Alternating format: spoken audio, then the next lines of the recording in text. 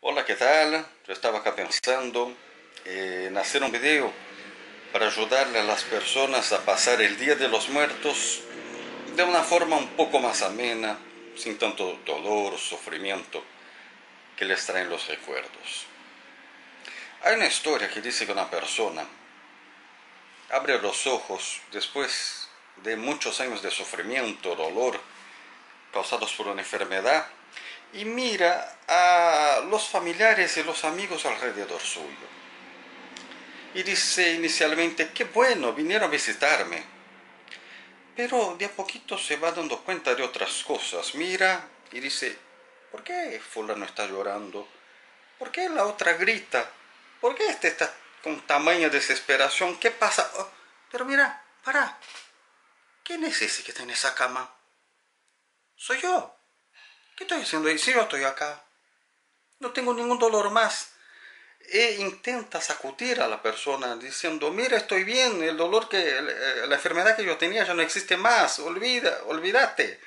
Ya, estoy bien, estoy acá, estoy sano, ya no tengo nada, no me duele nada, mira qué bien estoy. Y intenta sacudir a la gente. Pero, con nuestra visión limitada acá en este plano, que no conseguimos mirar y algunos dirán que eso es una bendición. La mayoría de nosotros no logra ver a los espíritus. No conseguimos verlos y la mayoría no consigue sentir el toque de un tacto cuando el espíritu intenta sacudirte. Pero viendo la gente llorando tanto, el espíritu entra en desesperación diciendo, no, no, no, no llores, querida, yo te amo, yo estoy acá, estoy bien, ¿por qué lloras? No llores más. Si entendemos esa historia como verdadera, pasamos a concebir de una forma totalmente diferente el Día de los Muertos.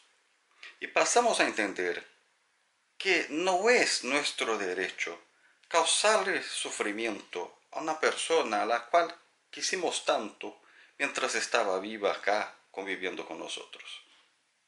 No podemos ser egoístas a punto de querer causarle sufrimiento. Tenemos que quererlo y quererlo ver bien. Y la persona te está diciendo, estoy bien, no tengo nada más, deje de llorar. No me causes este dolor, me afliges llorando de esta forma. Ah, me gusta también pensar en la forma como los mexicanos ven a Día de los Muertos. Para quienes no lo saben, hay tres días de los muertos en México. Y en esos días los mexicanos se creen que se abre un portal a través del cual sus entes queridos vendrán, volverán a este plano a visitarlos.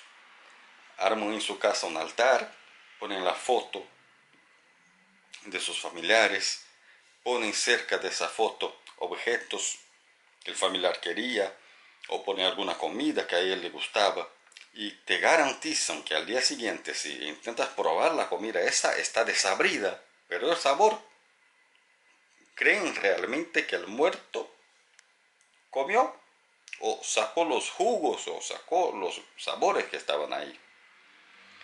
Entonces creen realmente que los muertos pasan por este portal y estarán contigo. Y si hacemos un link con la historia anterior, si el muerto ya no siente ningún dolor, si el muerto está bien, si la enfermedad ya se fue, ¿por qué vamos a causarle sufrimiento con tristeza? El muerto está acá. Los mexicanos se creen que el muerto está acá, está alegre, está bien, está conviviendo, está disfrutando, está apreciando las canciones, está apreciando eh, la comida, está apreciando la reunión familiar, entonces, cambiemos la mentalidad, pasemos a recibirlos con alegría, pensando que realmente nos visitan. Así pasamos de una forma muchísimo mejor el Día de los Muertos. ¿Y qué tema será que nos cantaría un muerto si viniera a visitarnos? Recuérdame Hoy me tengo que ir, mi amor, recuérdame. No llores, por favor, te llevo en mi corazón y siempre me tendrás.